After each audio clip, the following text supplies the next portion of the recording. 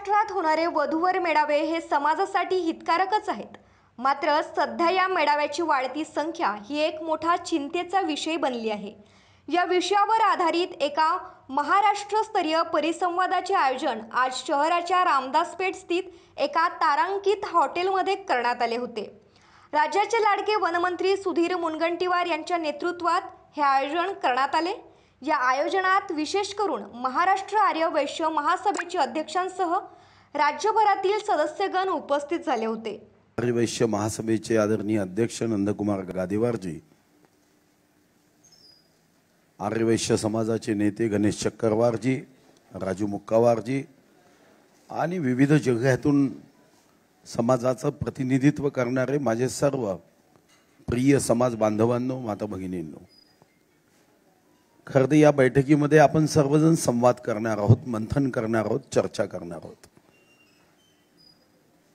या बैठकीचं उद्दिष्ट भाषण करणे नव्हे एखादा मुद्दा लादणे नव्हे. खरं तर आपण सर्वजण आपला समाज हा या परिचय मेळाव्याच्या संदर्भामध्ये इतरांनी हेवा करावा अशा व्यवस्थेचं आयोजन करणारा व्हावा. या दृष्टीने आज या बैठकीमध्ये फक्त चिंतन करायचं आहे. जेव्हा या बैठकीचं आयोजन केलं तेव्हा काही लोकांनी फोनही केला. त्यांनी भावना व्यक्त केली की अशी जबरदस्ती करता नाही येणार. मी त्यांच्या भावनेशी निश्चित सहमत आहे. समाज हा एका विचाराने चालला पाहिजे. हा काही संविधानाने चाल चालेल असं नसून हा अंतरात्म्याच्या एकमेकाच्या सहकार्याने जर चालला तर तो जास्त चांगला होईल. म्हणून पहिली गोष्ट जाताना प्रत्येकाने एक मनात भावना घेऊन जायची आहे.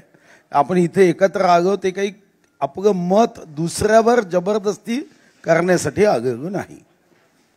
आगो का? तर आपण सर्वजण समाजाचे प्र प्रमुख लोक आहोत. आपण समाजाला परिवार समजतो. आणि समाजामध्ये असणारे जे काही प्रश्न उपस्थित होतात तेव्हा त्या प्रश्नाला उत्तर शोधण्याचा एकत्रित प्रयत्न म्हणून आपण इथं एकत्र आलो आहे साधारणतः काय मुद्दे असू शकतात आजच्या बैठकीत ज्याच्यावर तुमच्या सूचना अपेक्षित आहे? एक की जसं आता गणेश भाऊनी सांगितलं की किती मेळावे घेणं हे योग्य आहे. आता आपण संख्या ठरवून त्या संख्येच्या अनुसारच मेळावे होतील का? तर याचं उत्तर आज तरी होय नाही. तर हे होतं आजचं बातमीपत्र. पुन्हा भेटूयात पुढील बातमीपत्रात. नमस्कार.